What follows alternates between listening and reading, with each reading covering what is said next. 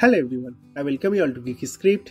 Today in this video I am going to show you how to install the latest version of MinGW 64 GCC compiler on Windows operating system.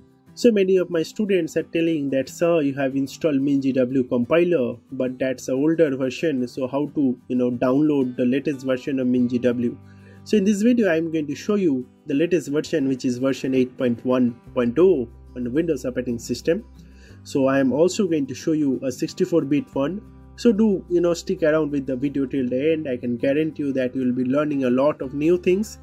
And if you are into c or c++ programming if you if you have assignments from your college or your school.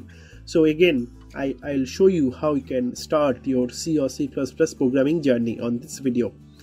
So yeah let's start our video now to install the latest version of MinGW, need to first simply go to favorite browser and to just simply type over here MinGW 64 then download hit enter and you will be seeing this MinGW 64 for 32 and 64 bit for Windows. Just simply open that link and it will be landed over to the official site of SourceForge. So this link I am going to put right in our description so you can you know you, can see that we have MinGW W64 for you know 32 and 64 bit for Windows. So here do not click on this download button. Alright, that's the first thing. So what you need to do is you need to click on file. And here you can see we have lot many options. So you know again scroll down more and you will be able to see this MinGW you know GCC version 8.1.0 over here all right so this is the one. So you have to click on the second one. I have already you know downloaded this one also installed it. I have tested it. So that's why i'm clicking the second one. So you can see download will start shortly. So it is you know rightly started downloading. I have already downloaded it. So i'll minimize this. I'll go to my download directory. And here you can see the same you know zip file is already been downloaded over here. So just simply right click and click on extract all. And here you need to click on extract.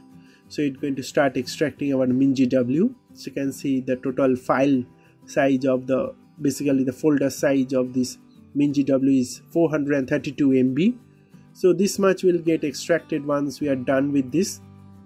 So by the time it get extract i'll go to my you know geeky syntax channel. So so i'll request you to subscribe this channel as well. So here regularly i'm posting coding related videos so if you subscribe this if i get substantial amount of subscriber i'll be motivated enough to make more videos all right and i also started a geeky script vlogging channel so if you're interested you can also subscribe this channel as well.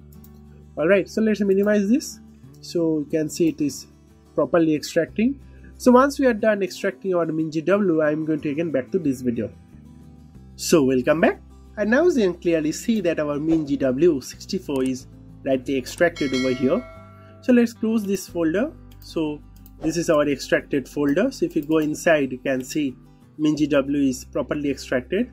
So what you need to do is you need to right click on this folder and you need to cut this folder. Alright. And after that you need to go to your C drive and to right click again and paste that folder. So what we are doing is we are extracting our MinGW and we are basically pasting that folder over our C drive. So here you, you can see we have a lot of files. So you need to go inside this bin folder and you need to you know basically select this address bar and right click and copy this path. So now you need to minimize this and you need to go to the search icon and you need to just simply type over here environ you'll get this edit the system environment variables just simply open that it will open system properties window. Now you to click on environment variables. It will open environment variable window. Now need to click on path. Need to click on edit. Need to click on new. Then right click and paste that. Mingw 64 slash bin folder path over here. Alright that's all. Now if you click on ok then again ok and then again ok. And now if you go to search again and just simply type over here cmd you, you will be able to see this command prompt. Open the command prompt. And here if you just simply type gcc space dash dash version and simply hit enter you can see that our latest version of gcc compiler that is MinGW W64 project compiler 8.1.0 is rightly installed on our system. So that's the latest version. Alright so in many youtube videos you'll see they are installing older versions. Even i have also showed a older version but now i have found the right way to download the latest version of gcc which is 8.1.0 alright. So after downloading let's you know create a simple project. So hello project. I'm going to create create a c proc folder. Go inside create a new text document. I'm going to give the text document as hello world and i'm going to change that .txt extension with .c. So click on outside yes. So we are changing our extension. If you don't able to see the extension you can always click on view show you need to enable this file name extension. After enabling that you will be able to see this .c or .txt type of extension. So open the file in notepad. So I'll, I'll i'm going to write a simple hello world code over here. So hash include stdio.h and int main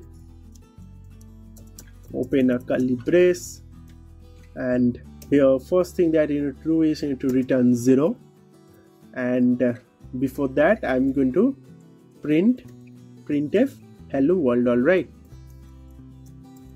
hello world. So now if you go to file and click on save and then you to go back to your folder. Just simply type over here cmd and hit enter. You'll be able to see command prompt rightly opening at our this cprog folder. So to run you need to just simply type gcc then your file name which is hello world.c so hello h capital then world w capital dot c. Hit enter you can see that our program is successfully compiled so it has generated a a.exe file.